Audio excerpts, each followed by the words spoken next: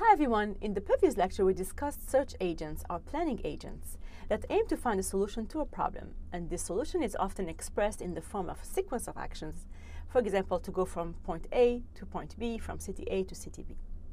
In this lecture we discuss another kind of search that's as important in artificial intelligence and this search is called adversarial search.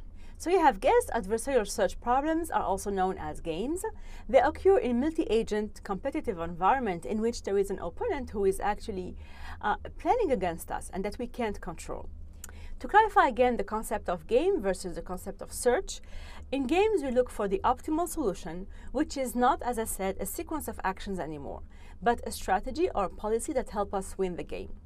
If the opponent is doing A, then we do B. If the opponent is doing C, then we do D. So we could express that as a set of um, uh, rules uh, if we implement it with, uh, with rules. However, it's uh, tedious and hard if it's hard-coded this way. So we need to find a way to devise an intelligent system that actually help us play and win the game um, against our opponent.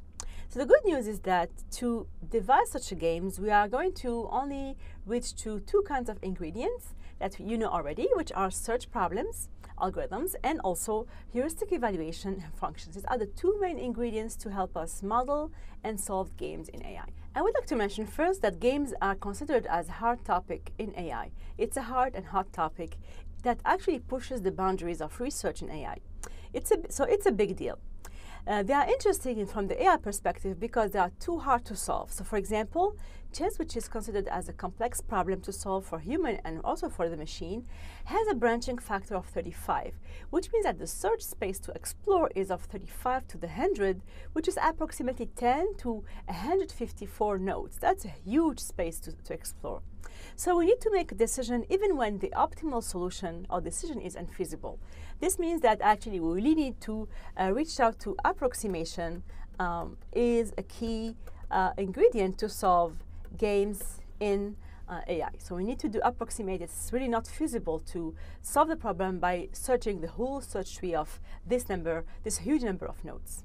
Historically, there have been several attempts to solve complex games such as chess, Go, checkers, etc. So for example, for checkers, in 1994, uh, the system or the computer, or call it the, the intelligent agent Chinook, ended 40-year reign of human world champion Marion Tinsley. And uh, at, this at this time, it was actually, checkers were actually considered as a completely solved problem. It used a lot of different strategies to search the search space, going top down, bottom up, but also it used an endgame database that actually stored a perfect play for all positions involving eight or fewer pieces on the board, a total of about 443 billion positions uh, on the board. The game that attracted most of the attention from the AI community is probably chess. Uh, chess is a complex game for both machines and also humans. The task was suggested by Claude Shannon in his seminal paper Programming a Computer for Playing Chess in 1949, in which he suggested chess as an AI problem for the community. But he also laid down the background for solving games uh, that was actually very useful in many other uh, applications and games. He uh, typically invented the minimax algorithm and suggested uh, heuristic evaluation functions that actually help cut off the search space and not go up to uh, the tree of the space.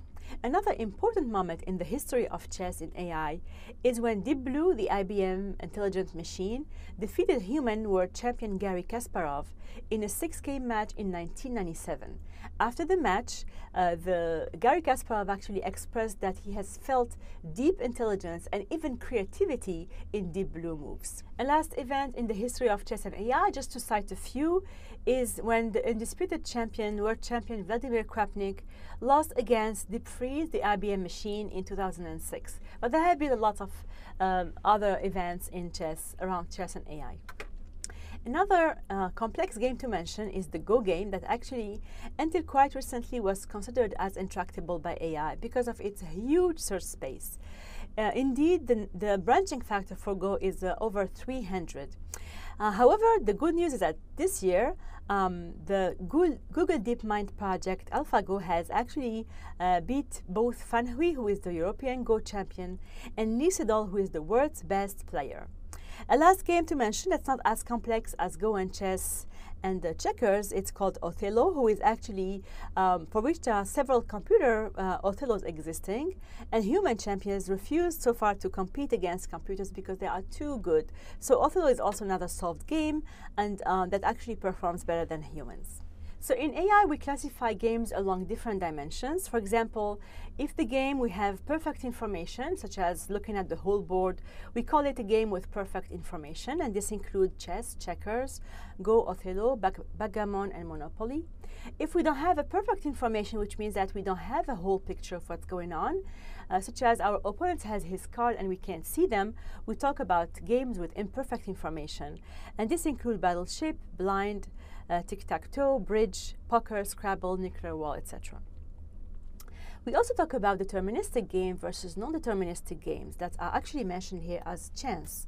So these are here non-deterministic games, are also called stochastic uh, games, stochastic, which means that there is a factor of chance that is being introduced, and this factor of chance is either introduced by shuffling cards or by rolling dice, etc. So um, deterministic games uh, that are actually have perfect information are chess, checkers, Go, Othello. Those with imperfect information are Battleship, Blind, Tic-Tac-Toe, etc. Uh, those who are actually perfect information and chance are backgammon and monopoly. Those who involve both imperfect information and non-deterministic or stochastic search are bridge, poker, Scrabble, liquor. In this lecture, we are mostly interested in deterministic games that are actually fully observable environment or with perfect information. These are hard enough. Um, we call them also zero sum, where two agents act alternately uh, to solve uh, to to play the game. Uh, we are going to touch a little bit on chance afterwards, uh, just to give you uh, an idea of how this actually changes from the deterministic case. Zero-sum games are typically adversarial games that actually involve pure competition, where agents have different values on the outcomes, and one agent is trying to maximize a single value, while the other agent is trying to minimize it. Each move in the game by one of the players is called a ply. So we have here one objective function. We want one of them is maximizing it and one of them is minimizing it. So this is what we call uh, zero-sum games. Zero-sum game involves what we call embedded thinking or backward reasoning, in which one agent is trying to figure out what to do, how to decide. He thinks about the consequences of his actions. He needs to think about this, his opponent as well. The opponent is also thinking what to do, and so on and so forth. It will imagine what would be the response the, from the opponent to his uh, to his or her actions. This entails embedded thinking, and we need to take that into consideration when we solve the problem. We can formalize the problem as follows. So we start with some initial state, let's call it S0, so for example. So we start with some S0. Then player of S defines which player has the move in state S, usually taking turns. Actions of S will return the set of legal moves in S. We're going to define a transition function that goes from S cross A, the set of states across the possible actions, to S, which defines the results of a move, and define a terminal test, which is true when the game is over or false otherwise. States where game ends are called terminal states. We're going to define another function called utility SP that actually is a utility function or an objective function for game that ends in terminal state S for player P in chess, the outcome is either a win, a loss, or a draw with values that could be plus one, zero, or half. For tic-tac-toe game, it can be a utility of uh, plus one, minus one, or zero if uh, it's a win, loss, or draw, draw, respectively. So this is how we formalize the problem. So first of all, let's think about having a single player and how does it work. So first of all, we assume we have a tic-tac-toe game. That's one of the simplest games with one player. So let's call this player uh, Mr. Max. Okay, so Mr. Max has the play, and we ask him to play three moves only for the sake of the example. So uh, Mr. Max is going to play the game and put some crosses on the on the board. So he could do something, for example, like this, three moves, and we could declare, okay, so you win, uh, Mr. Max win, and this is a possibility to solve the problem when he is only by himself and there is no opponent that is actually against him. So let's examine what the search space looks like. So Max is going to start the game. Uh, the initial state is a zero in which the board has three by three uh, cells. So Max can put the cross anywhere, which present actually uh, nine possible actions. So this is a branching factor initially of b equal nine. So Max could put the cross here, here, or anywhere in the board, uh, in any of these children. So suppose Max picks to put the cross here, then the second step is for Max to put a second cross. And this cross could go anywhere in the remainder um, eight positions. So suppose Max picks this position here. So then Max could put uh, the cross here and win the game, or he could put the cross here or here and not win the game. So rem remember that we are asking Max to put only three crosses on the, on the board. So if he puts the cross here, he will end up with a utility of plus 1 and 0 otherwise if he doesn't actually manage to put the cross to make a, um, a straight line. So in the case of one player, nothing would prevent Max from winning uh, that is, choose the path that leads to the desired utility of one, unless there is another opponent or player who will be doing everything to prevent Max from, uh, from uh, winning. Let's call him Min uh, the mean. So we are going to, in this case, to have a configuration of what we call the minimax search algorithm, in which we have two players, Max and Min. Players alternate turn. This is a true game. There is there is not uh, there, is, there are two players in tic tac toe. Players will alternate turns. Max moves, fir moves first. Max maximizes the result and min tries to minimize the result. There is one objective function or one utility. Max maximizes it, min minimizes it. Uh, the compute, uh, then we compute each node minimax the minimax value that the best that is the best achievable utility against an optimal adversary. Minimax value is the best achievable payoff against the best play. So we suppose that both players are playing the best play. They know very well tic-tac-toe and everyone will do his best to prevent the other one from winning. So now the search space is turning something different. Now we don't have anymore only Max playing. We have Max and we have, so Max is here, right? And then we have also uh, Min who is actually trying to prevent Max from winning and Min is actually uh, acting against Max. So we have a layer of Max, layer of Min. We call each layer actually, we call it apply, right? And we're going to try to go all the way down until we have uh, actually max win. So max starts first. Who put a cross. Then Min will have different actions to do. He will be putting a circle and preventing Max from winning. So suppose that Min puts his circle here.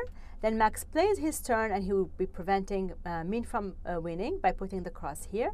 And so on and so forth. So we have now a whole such play that are actually different uh, plies. Each ply is for uh, one of the players. So this is player one, player two, player one, player two, and so on and so forth.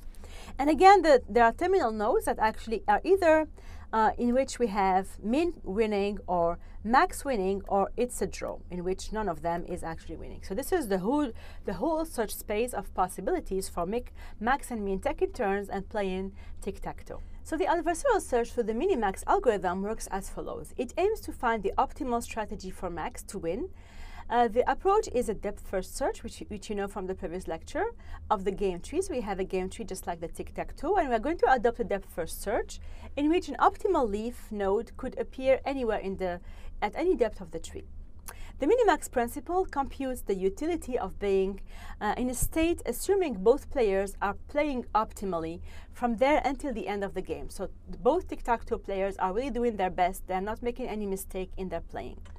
So the idea of minimax algorithm is to propagate uh, the minimax um, the minimax value up the tree once terminal nodes are discovered. So this entails that we are going actually to go all the way down the tree and uh, down to the tree, uh, the leaves in the tree.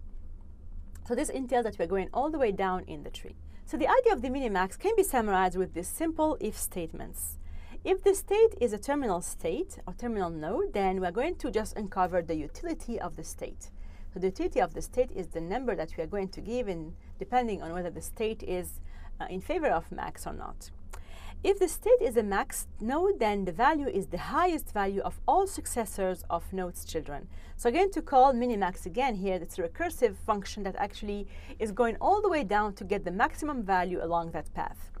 If the state is minimum node, then you are going to reach for the lowest value of all successors node that are the values, uh, all the values of the children. Remember, max tries to maximize the objective function and min is trying to minimize it. So that's why we are going to uh, reach here to get, uh, to get here the highest value of all successors if it's max, and the lowest values of all successor if it's min.